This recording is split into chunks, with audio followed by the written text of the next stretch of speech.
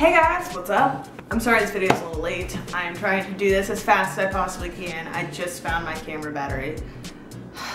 And the whole thing is that I have to use my actual vlog camera instead of use my DSLR because I can't find the damn charger to that camera.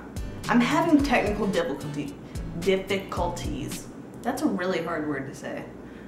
This week we are talking about two topics that were sent in by viewers. One, talking about basically uh, your sexual orientation and how it's fluid throughout your life and if you have to stick to some label just because that's what society says you're supposed to do. Or um, a mother that wrote in, which I think is really awesome, asking about her um, 13 year old daughter that just came out. I think I'm gonna talk about the 13 year old thing because I've been there. I came out when I was 13, if you guys didn't already know. And it was really hard. Like, because of that, like this mother obviously accepted it and was okay with it and the father was the one that had a problem with it.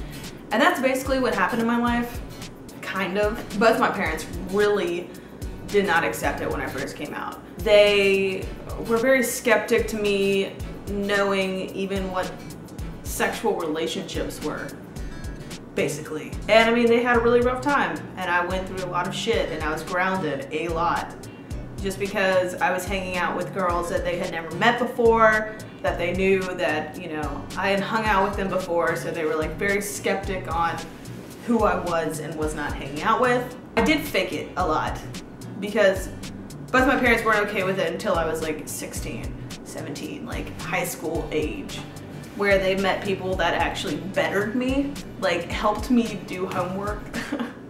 because I was not ever a homework person. I just was never a school person. Yeah, I did fake it. I, you know, I had some of my guy friends come home and I was like, dude, will you please do this one favor for me and hold my hand and tell my mom that we're dating, just please. Like, we don't have to do anything else, even though they always did. I was like, I'm not doing that because I'm trying to hide my sexual orientation. Anyway, I think forcing the word phase on anybody is very frustrating.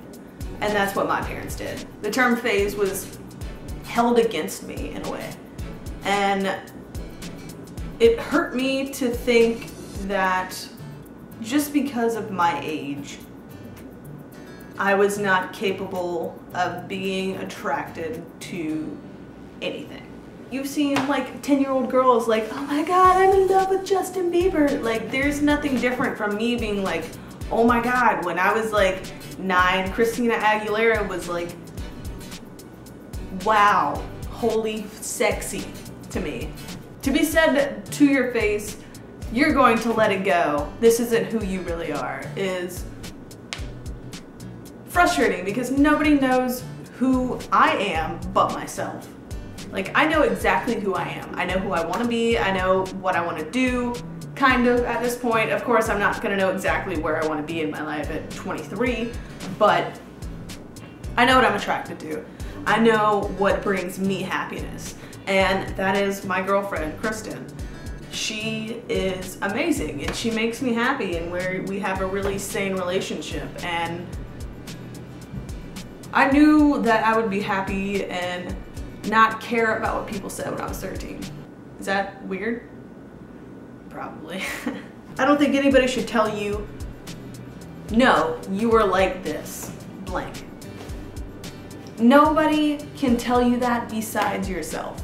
Of course, people are gonna portray you in some way because they know you so well and they know your past and whatnot, but at the same time, nobody can tell you who you are. Nobody can tell you it's a phase. Nobody can tell you you're just a lesbian or you're just bisexual or you're just straight. Like, if you fall in love with something, something, someone, I said something. It's kind of creepy. I don't know what that means. Bestiality? No, it's like that guy. What is it? Strange obsessions or something like that. Addictions, where the guy like was in love with his car. I mean, cool. If you're in love with your car, do your damn thing. Whatever. Like, cool. Um, high five your car for me.